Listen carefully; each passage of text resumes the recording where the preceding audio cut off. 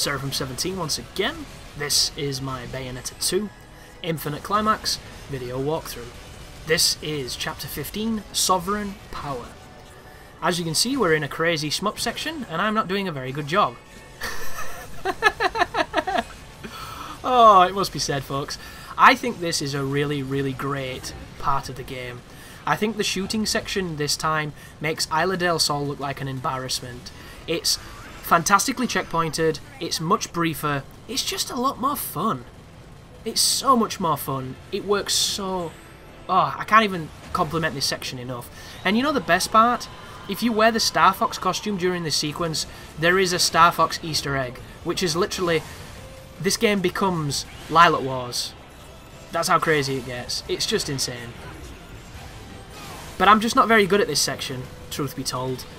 And it stems from a few things. I was trying to shoot and use Balder at the same time, and I ended up getting kind of stun-locked by those enemies flying through me, because I wasn't killing them. Because I was trying to attack with Balder while I was holding shoot, and it doesn't work. so you have a choice here between guns, and you have a choice between blade. The blade is for close quarters, the guns is for distance. If you hold the gun, you'll have a charged shot and it fires a bigger Wicked Weave. If you hold the sword, you'll charge Balder's sword and it'll do a big Wicked Weave. And it's kind of awesome. And we fight a couple of bosses like this one. This boss has the exact same moveset that he had from when we fought him previously, so you should know when to dodge and when to attack. On his Ice Breath, you can fire the Ice Cubes back at him. This is actually a really fun fight. I, I really enjoy this part. It's, it's hilarious, isn't it, that the guy who has this massive reverence for shooters, who wanted to put a shooter section in his game, a la, you know, Hideki Kamiya, put one in that he even admits himself was way too long and a little bit indulgent. Yet Hashimoto, who's the director of this, Kamiya was only a supervisor and he did the story, ended up kind of honouring Kamiya, and maybe he really likes Afterburner as well, by putting this sequence in, but also making it significantly better. And, like, a lot of people, you know, adore what Hideki Kamiya does, and I am guilty of thinking the dude is awesome and a genius. But at the same time, he's not infallible, so it is interesting to see somebody do his kind of game design better, which I think is really interesting. Obviously, it's all preference. You might prefer the Isla del Sol one, but I think the Isla del Sol is literally one of the worst parts of Bayonetta 1. And if it didn't exist, I would not lament it. I would not grieve. I would have none of it. But this is... Is his name Valiance? I think his name is? This is the golden giant sworded fella. That is one of the coolest looking enemies on the game. Parts of me wish he was used more often, but then I remember just how tricky he can be when you're fighting him as Bayonetta and you're not doing all the fancy stuff like we're doing now. But this is wait for attack, shoot while attack is happening, and then hit him with a charged Balder attack. That is all I'm doing here, folks. I have no idea if there's a more optimum way of doing this, but this seems to work a, a treat, and it's a lot of fun. It looks great, frame rate's great. So cool. You'll also notice my ship is exploding every time he attacks me. That is because I'm doing the bat within evade.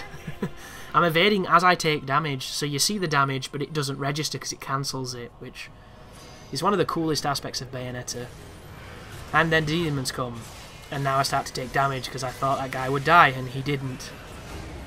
One thing that is quite challenging here is judging the distance on Balder's swipes. Not only are they kind of slow, but sometimes you'll miss when you thought you thought it would hit, and it's it's just familiarity. It's just about learning as the uh, resentment turns up. Oh, sorry, is that a resentment or is that a mal Mal enchantment, I think that's what that dude was. These creatures we're killing are the hatreds if they have scythes. These are the furies. They do the slow motion blob, which apparently hit me just then. and then I think these are just more Furies. And then another one of this guy, Melon Enchantment. But it's just... Like, for an action game, to do such a, a crazy turn into a completely different genre, it's a pretty bold statement. I know at this point we're used to it because we've played Bayonetta 1, and we've played the wonderful 101. But can you imagine if any other game series did this? Because they never really do. They never just jump in the deep end of completely new and different mechanics. And I'm not asking them to. It'd just be nice to see what they would do in contrast. Because when you observe it, they generally do things at a much more laboured pace, much more, you know, laborious take on it. Like Assassin's Creed had this established thing of doing all the miscellaneous tasks, then assassinating a dude, and they had a little bit of horse riding, and then they introduced this like macro management of of assassins and, and sending them out on missions, and then that gradually extended into the naval stuff, and then that gradually expanded into the naval contracts of sending them out to get you know supplies and things, and it's this logical evolution. Can you imagine if Assassin's Creed 2 had you doing all those things that it took Ubisoft like five games to do? I think it'd be probably better received. Because they're wearing out the welcome with a lot of things like that. Like, Gears of War I always thought was interesting. Because the middle part of Gears of War has you driving a car. and it's not the best car controls, and it's actually pretty tough if you've ever played it on, on the harder difficulties. And it comes out of nowhere, and you never do it again. But you will always remember it because you just didn't think it would do that. You spent the entire time, essentially, living behind a chest high wall shooting monsters. And then all of a sudden, you were doing this really strange, survivaling, get to the light, you know, stay out of the darkness tank mission. And that is by no means original or never been done before, but I always felt it was interesting for them to do that when you didn't expect it. And Call of Duty now has, has got to the point where if you're not doing something different every level, a la in a jeep, in a car, on a bike, in a jet, underwater, in space, then it's not Call of Duty. And they've kind of gone the opposite way of they think they're mixing it up, but they're really playing into the stereotype of of course we were going to be on a turret. Of course we were going to be on a rail section. Of course we're on a snowmobile. And they've lost the allure of those moments. Whereas in a game like this, we've spent the entire game beating shit up in probably one of the most fun games where you can do that. And then randomly we were on the back of a horse. We were like, oh my god, this is so good! We're on a horse! It's crazy! And then we were back to beating people up for a while. And then we were in that crazy flying tank witch armor and we flew and took down an armada and it all got crazy again. Like, oh my god, I'm in a tank! And then we were back again. And then all of a sudden, we're in a jet. And it's just that impeccable pacing and it's that gameplay that doesn't outlive its welcome because it's immaculately paced on this one. And I think it's a, a testament to just great game design. But this is the last boss. This is the Prophet, we've fought him before. He doesn't change much. The only difference on Infinite Climax before what you fought him before is how quick his moves come out. Your first few attempts at this boss are going to be acclimatizing to just how fast he can ruin your face, and he gets faster, and I didn't think it was possible. He also has some pretty damaging magic which you want to be careful of. As I've mentioned previously, you can shoot this guy indefinitely and keep your combo. My strategy is going to be quite safe. I'm going to use the chainsaws for damage. I'm going to use the whips if he gets out of the damage too much, and I'm going to constantly shoot him to keep the keep the chain of combos. And I'm going to play it counter punchy. I'm not going to initiate. I'm going to counter punch. It's the best way to play Bayonetta, I believe, unless you're ex-HL Gladiator, who is possibly the best Bayonetta player that's alive. But counterpunch this boss. As soon as you get him down, he's going to go into his second phase, and that's when shit gets really interesting, because that's when people who thought their reflexes were good are suddenly going to feel like old men. but he's got quite a few life bars. The cool thing is, this is all practicing for whenever you fight this enemy again, and for the final phase, because his pattern is almost the same, he just has more of the spammy, crazy, magical bullshit moves. And if you're wondering why I'm, a, I'm backing away when he does those, it's because they kept hitting me. I was getting close to them, I was avoiding them, and I was still taking damage because my evades weren't good enough. And instead, I thought I'll just back up, I'll take my time, and I'll fight him on my terms, and I had a lot more success. So that's the reason why I'm not being as aggressive as I normally would be. And that right there was a really bad spam evade so I deserve to be punished. And the game obliged happily. But we're getting him down now to his, his final life bar. The less life he has, chances are the more spammy he will be with the big moves. That was a, a right hook apparently I wasn't expecting. That move, spam the dodge so that you can get back with him when you recover. And I'm going to be saving my Umbran Climax because I thought I could save it for the end and I could make the final phase easier. Turns out Umbran Climax really doesn't help in that last phase. It's kind of just really hard and really fast. But keep on narrowing him down, keep on beating him up. Counter punch. Be aware that whenever he recovers, he can immediately go into that counter uh, double fisted palm slap thing. And it's so fast. But keep on beating him, keep on hitting on him. And the life you have here, you will carry into the next section. Once again, the load times when you quit out and you reload this encounter are probably the longest in the game. It is easily about 30 to 40 seconds of loading, and I'm sorry, but that is completely unacceptable. There are moments on this game when it loads for 10 seconds, and that is amazing. A 40 second load on a boss that can hit me in a second across a 3 minute fight where I have to be perfect. Not happening. Anyhow, this is Aesir. This is the final form of the boss. This is when things get really crazy. So in this phase, you, you actually have Balder with you attacking the boss, and bless his heart, he tries his best to do damage, and he kinda does a pretty good job. It's not going to change your life, but he's useful. However, he makes the fight harder, because he diverts Aesir's attention.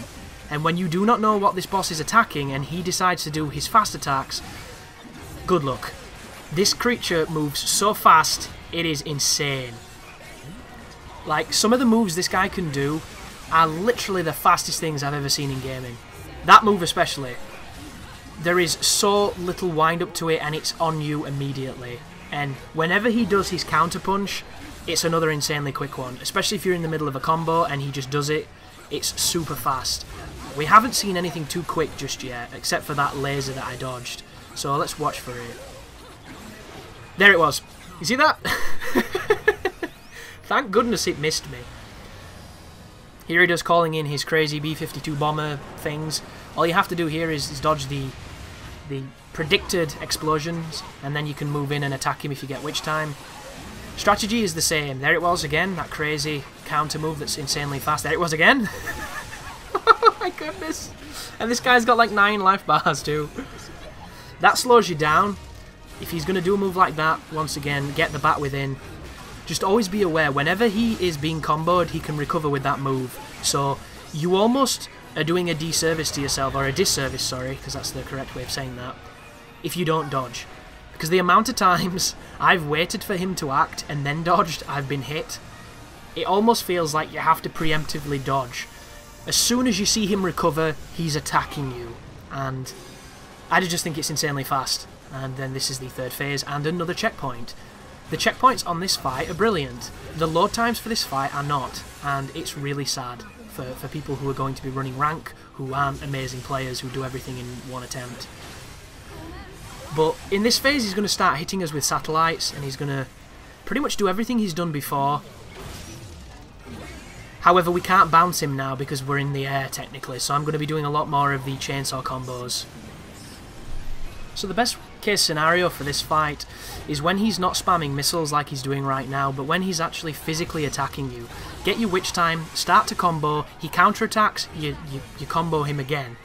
All it should be, if you can get him doing this, is attack him, dodge him, attack him, dodge him, and chain him in this pattern of him reposting as he recovers so you can get more witch time. However, he's going to do missiles, he's going to try and trap you in the, the electricity orb, he's going to do a lot of things, and then after a while he'll summon this satellite that you have to do this with. I'm all for these sections being in the game, I just wish they weren't as similar to, to Bayonetta 1. The ones in Bayonetta 1 are some of the most fun moments of that game, and it kind of feels like they're just rehashing them instead of making them awesome. Uh, it's a very small complaint, but it's valid, I think. So this is a great pattern so far. He dodged twice. Now he's going to fire bullshit. Wait for the circle of blue around the satellite before you dodge. That signifies it's about to fire.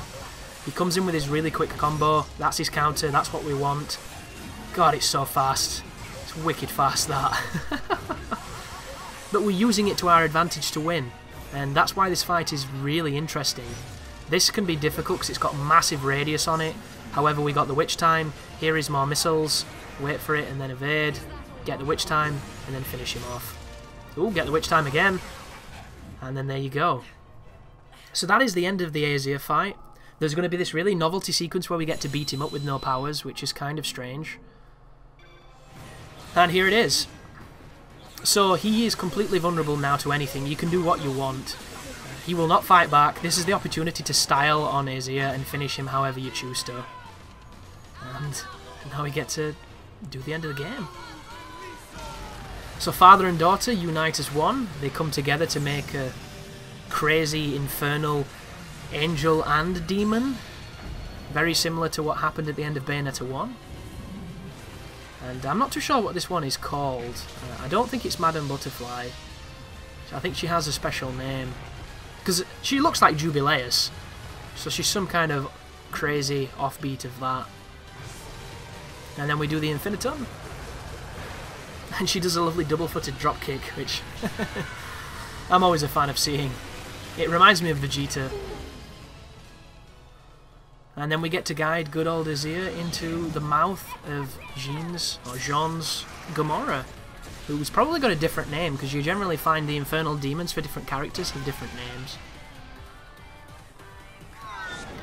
And this is clearly a throwback to guiding Jubileus into the sun, which was a pretty fun sequence. And I'm, I'm happy that this one doesn't have any fail states, because hitting those planets on that moment, as funny as it was and as interesting as it could be, it kind of killed all the hype of it. That was if you weren't good enough to do it, and the amount of times I failed that is kind of embarrassing, but it is what it is, I guess. And that is the end of Bayonetta 2, guys. Thank you very much for watching. There's going to be plenty more content coming when I discover things and potentially uh, new fun runs. But for this moment in time, that is all. You take care now.